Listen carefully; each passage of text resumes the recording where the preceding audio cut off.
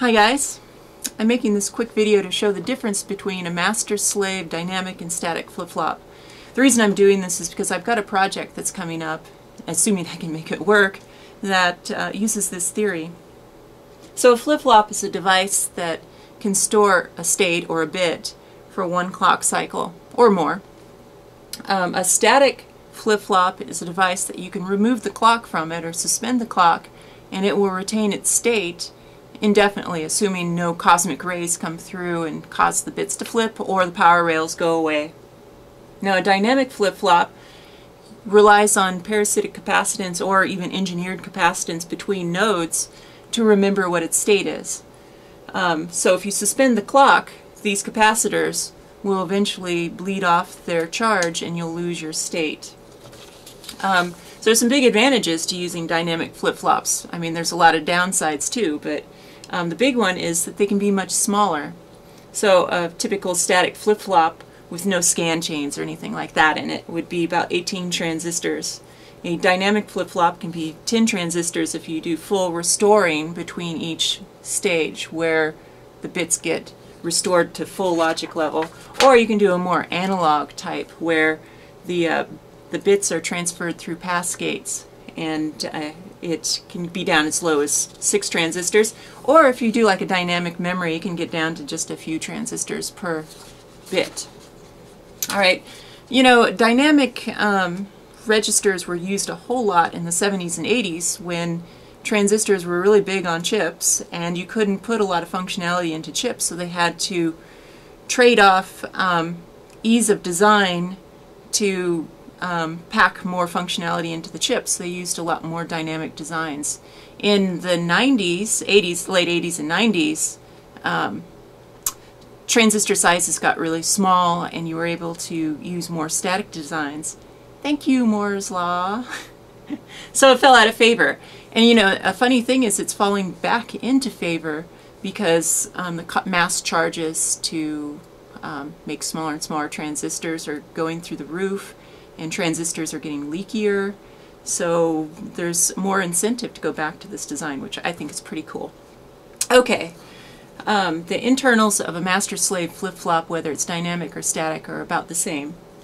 So you have two stages. You have a clock input. Now the clock gets separated into two phases. So you have an inverter that inverts and causes two phases.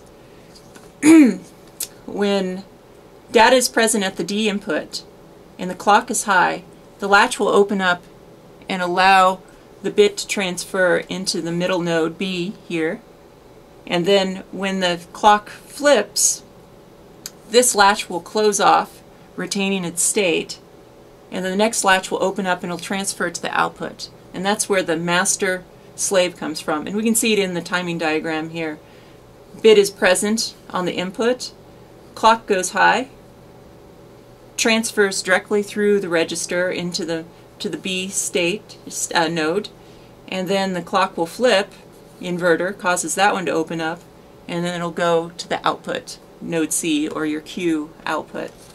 So the reason that you do master-slave flip-flops is to prevent race conditions. So if you just used a transparent latch, you could end up with a condition where your input relies on your output, and since it flows through almost instantly to the, you know, the, the delay of the, the latch, you can have os wild oscillations happen if you have any kind of feedback output to input.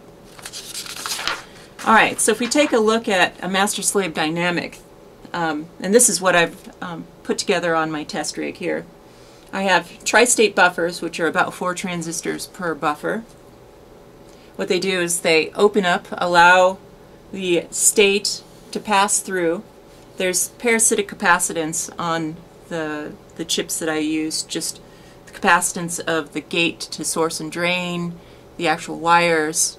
Um, when you're inside of a chip, there's capacitance all over the place. You can um, usually not have to engineer it into the, the device. So, same thing. Um, bits present goes clock high, transfers in, gets stored onto this capacitor, then the clock goes low. And we can see on node B that there's a slow decay. That's through leakage through the transistors or, you know, in, in this case, input protection. So as long as the clock is fast enough, this decay is slow enough that it doesn't get below the threshold level of the input of the next tri-state buffer. And then on the next clock phase, transfers out to the output, and then the parasitics on that store the charge. Alright, so for the test rig, I put together a linear feedback shift register. This is a sequence generator.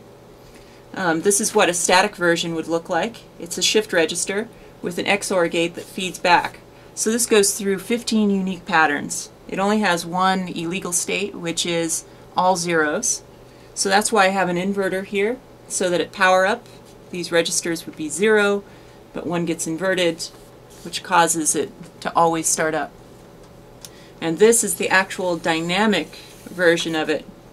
So we have the tri-state buffers, parasitic capacitance between each of them, and then I have it hooked up to the scope so we can see these different nodes and we can see the count, and I have an XOR gate, an inverter that's running the, the counter phase clocks.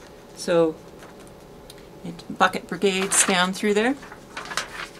Alright, so if we take a look at the scope, right here I have two nodes so one of these nodes is the would be the node A, the input, and this other one would be the output. And we can see that a bit comes in here, half clock cycle later, gets shifted out.